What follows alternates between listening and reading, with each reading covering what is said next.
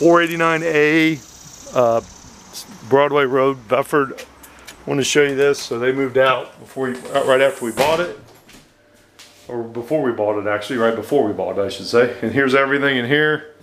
So I want to show you the place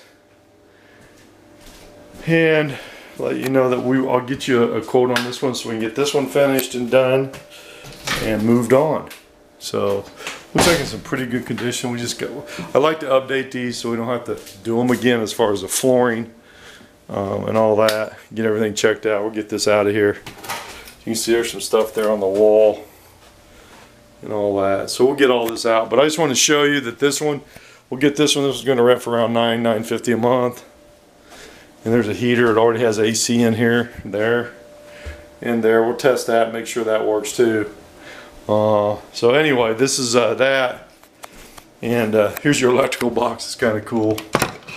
Here's your electrical box here for that. So, um, so all this, I just want to show you this and share this with you. There's a fridge, gas, and I'll get you a quote for this. We can get this one rented pretty quickly.